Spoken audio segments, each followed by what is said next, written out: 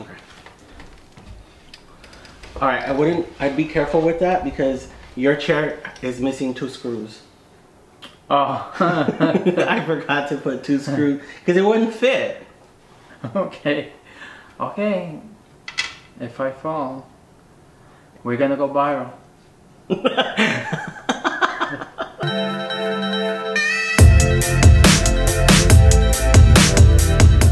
Hi everyone, I'm Nando. I'm German, and this is the Nando and German DIY channel.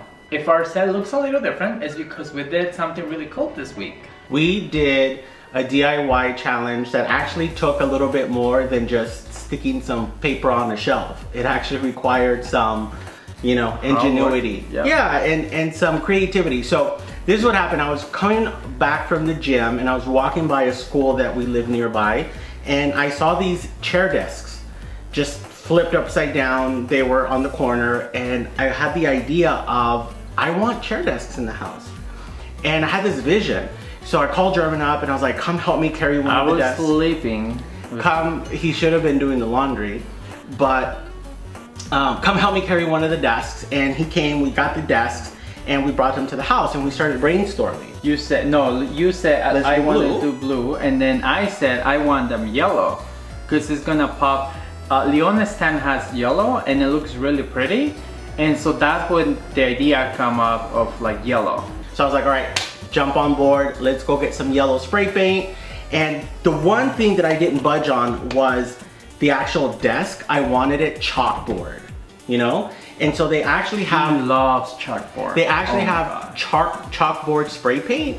And I just had this vision of, uh, you'll guys be able to see the back and the, and the seat, bright yellow, but this is chalkboard because, you know, sometimes you just wanna be a little kid and just draw and do whatever you want. So let's walk you through all of the steps that we did. But before we get to that, don't forget to subscribe to our channel. and leave us a comment and share the video if you think this is something someone would enjoy. So first thing we did was unscrew all the parts from the chairs and then uh, we separate them so we can start painting, right? Yeah, and then once we got everything unscrewed, we just took it outside and we just started uh, spraying.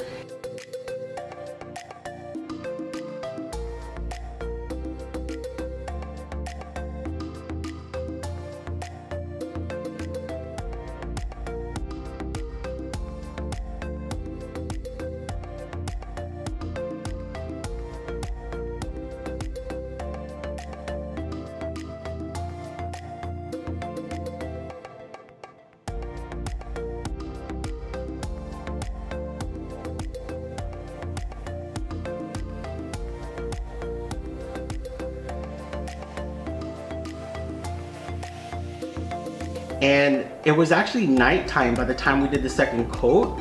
And it was hard, but you know, we're not your average do-it-yourself people. So, uh, meaning we probably skipped some steps. Like, I'm assuming other people would have sanded down the parts. Or clean it. Or clean it. We didn't even clean it, guys. Well, we did wipe it down. Um, but all in all, it was a really fun, it was a really fun uh, challenge. and it didn't took long. I thought it was gonna take like a really long time to dry, to paint and all. And never, it was probably like five, less than five minutes. Because all you do is just passing the spray on the uh, on the boards, and that's it. In fact, the spray says it dries in 10 minutes or less. There So, you go. Yeah. Yeah, it was it was really cool. So that's what we did. Now we have these amazing chair desks um, in our place, and I'm really excited about them. We just have to figure out like where we want to permanently place them, but obviously this is what we want to use for our video set moving forward.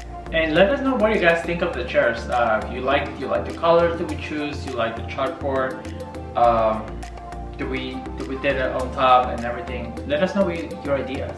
So there you go, guys. Don't forget to give us a thumbs up, leave us a comment. And remember, If if we can do it, you can do it.